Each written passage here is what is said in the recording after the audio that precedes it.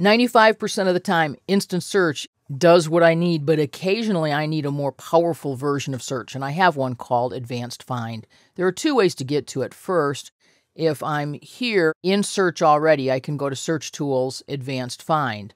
I can also, from anywhere in Outlook, hold Control and Shift and hit the letter F and open the Advanced Find dialog box. Check it out. So I can search here for messages, but I can also search through any type of Outlook item, my calendar, which is appointments and meetings, contacts, files in Outlook and Exchange, notes and tasks. I can search in my inbox, but I can specify that I want to search somewhere else. And if I click the Browse button, I get to multi select in here. So I can say, search in my inbox and my sent items. By the way, if I believe that what I'm searching for might have been deleted, I can also search in my deleted items folder. When I am searching my current mailbox here with instant search, it is not searching deleted items. It's searching every other folder but not deleted items. So if I wanted to search through deleted items, this is one way to do it. This dialog then, once I've established my scope, the type of items I'm looking for, and where I want to search, I have three tabs that allow me to build criteria. And they're held as I go from one tab to the next. So my job is to work the messages, more choices, and advanced tab until I have built what I'm looking for.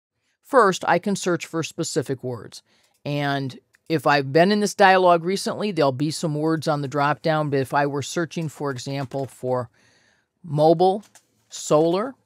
I can do that, and then I can specify do I want to look for it in the subject field, in the subject field in the message body, or in all the frequently used text fields, and there are a fistful of these. The frequently used text fields include to, from, and so on. As a matter of fact, if you want to see where that list is, and I click in the instant search box, click the drop down, and those are really most of your frequently used text fields right here. But Control Shift F. I can also limit the search to the subject field, subject field, and message body, to who it's from, to who it was sent to. I can specify sending scope. I'm the only person on the to line. Isn't that cool? Sent only to me. I'm on the to line. There might or might not be other people there. On the CC line, might be other people. The time is originally set to none. So when it was received, and then you can set any time yesterday, in the last seven days, last week, this week. And if you want another choice other than these, wait till we get to the advanced tab. But the default right now, none really is it, it was received at any time.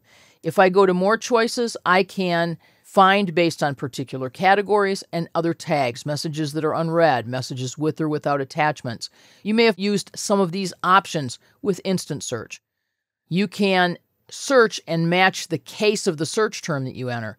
And then finally, you can search for items by size. For example, if you know that you don't remember anything about a particular message except it had a really huge PowerPoint attached to it, then what you could do is you could say greater than and put in a number that you think will filter out most of the other messages. And then you could also specify some other criteria about attachments, right? or you could say that actually has one or more attachments as well. Finally, we get to the Advanced tab, and here you can build whatever super specific criteria you want. So you could say, I know, for example, that this message, the sensitivity of it was set to private. And whenever you define criteria, the next thing you need to do is add them to the list.